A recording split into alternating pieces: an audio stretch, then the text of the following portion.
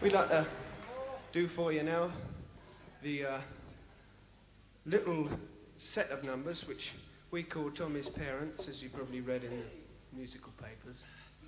And if we've ever played for any of you before, you probably know this piece of repartee that I'm just about to embark on. It's the story of our mini opera. And this mini opera was something which we did on our second album. And uh, in a way, for, in its time, it was adventurous because it was one story which took six different themes of music. And the story uh, is about a girl guide who was seduced by an old engine driver. And it's, you know, it's funny, social comment thing. And uh, John Entwistle plays the engine driver.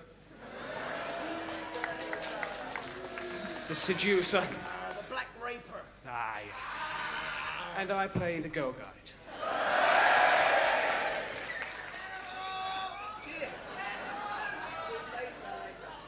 Later. and uh, the seduction takes place while the girl guide's boyfriend is away from home. And uh, she's weeping because he's been away so long. And some of her friends say, We have a remedy. And you'll hear that chorus, We have a remedy. And the, rem- the remedy.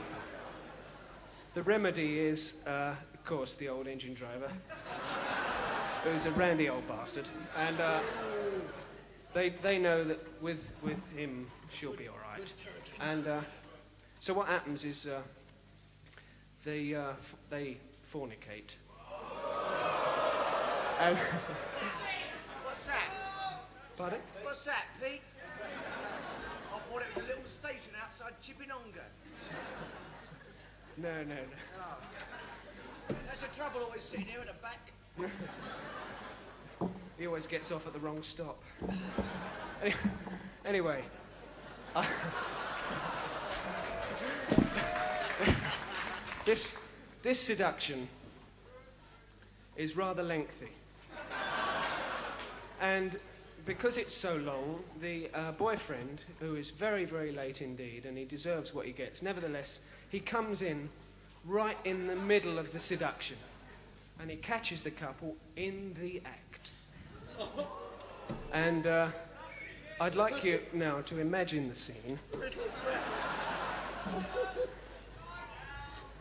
Little Gretel. Gone.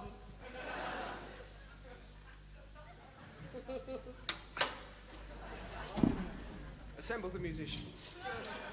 And uh, the reason that the seduction takes so long is because Ivor, as he's an engine driver naturally, doesn't come on time.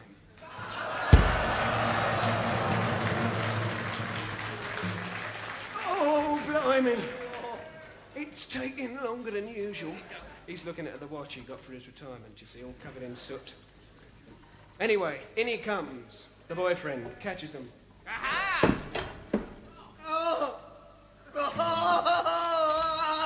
All over me best Persian.